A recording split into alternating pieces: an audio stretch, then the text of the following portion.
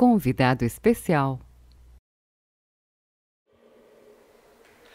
Neste especial de 34 anos da cidade de Três Cachoeiras, nós estamos na CDL, a Câmara de Dirigentes Logistas. Aqui ao meu lado está o Samuel de Matos Berrenque. O Samuel é presidente da entidade, já está em sua segunda gestão. Então, com propriedade, pode nos falar, inicialmente, Samuel, é, a situação vivida aqui pelo comércio local durante o período pandêmico. Tudo bem, Samuel? Olá, Jorge, tudo bem? É, bom, nosso, a nossa situação em relação à pandemia, no início a gente teve aquela paralisação de uma semana, né? E aí a gente reuniu o comércio e prefeitura, a gente chegou a um acordo de fazer todos os protocolos que deviam ser feitos, a gente não optou por não fechar o comércio totalmente, né?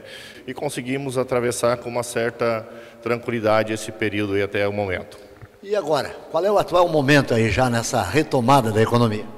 Bom, nessa retomada a gente está buscando novas parcerias, né?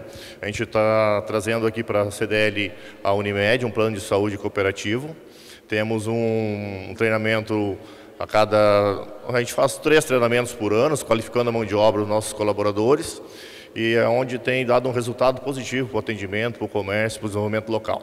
O que dizer aos cachoeirenses nesses 34 anos do município? Acho que a Três Cachoeiras está de parabéns, né? É uma cidade que é acolhedora, é, trabalha pelo desenvolvimento, o pessoal tem assim um, um, um intuito de, de, melhorias, né? Está sempre aberto às novas ideias que sejam produtivas. E acho que é isso aí, né? Estamos à disposição, o CDL também está à disposição. Se alguém ainda não é associado quiser se associar, pode dirigir a nós através do nosso na sede ou por algum contato das nossas mídias sociais. A gente vai estar entrando em contato, fazendo uma grande parceria com certeza. Bom trabalho. Muito obrigado a todos. Samuel de Matos Berrenque, ele é presidente da CDL, a Câmara de Dirigentes Logistas em Três Cachoeiras, aqui no litoral norte do Rio Grande do Sul.